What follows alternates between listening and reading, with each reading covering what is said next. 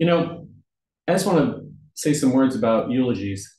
Um, when Bill Spellman died, uh, it was Sunday, June 1st, 1997.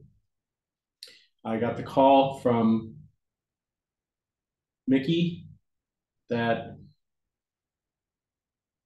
the doc had passed. Even before I made it to Cedar Rapids, made it to uh, see Donna, I knew that I wanted to deliver the eulogy.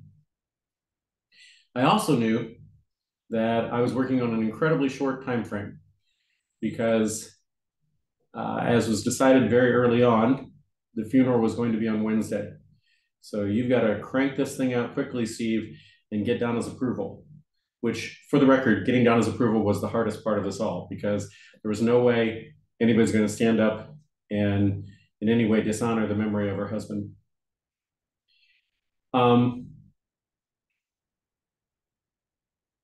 having the funeral on a Wednesday was a mistake. We really should have pushed it back to Saturday because we had 800 people at the funeral. Had we pushed it back to a Saturday, it would have been, we'd have needed to rent out the Five Seasons Center. That was a comment Mike McDonald made. Because um, as it was, we had 800 people at his funeral. Anyhow, when I got up, before I got up to give it, I had a meeting with the minister. And I said to him, I'm really good at what I do. But my connection to Doc, to say that was the hardest speech I ever had to give is an understatement. So I said, if I can't get through this, here is my speech. I want you to finish it for me. And so he he read through it carefully. He was ready to give it if, if need be. Fortunately, I was able to keep it together.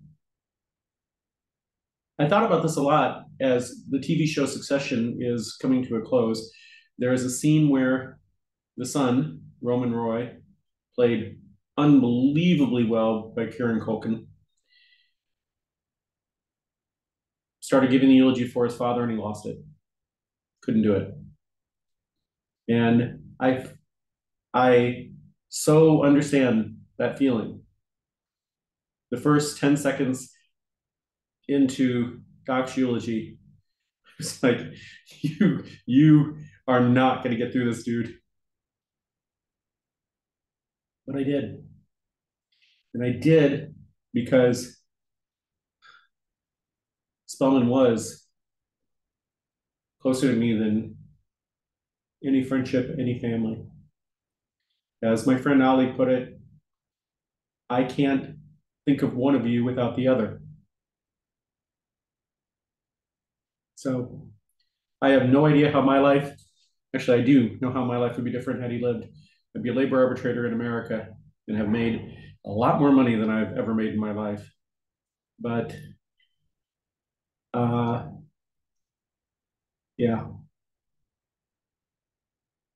Eulogies are weird. I think only of, of all my friends of other cultures and religions, they don't do them. So this is a this is obviously some form of a I don't know if it's an American thing so much as a Judeo-Christian thing, whatever, I don't know. But eulogies are weird.